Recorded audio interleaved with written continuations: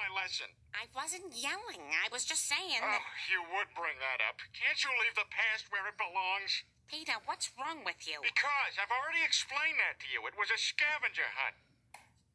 What the hell is going on here? Lois, if you still haven't discovered I'm gone, please flip the tape over to side B.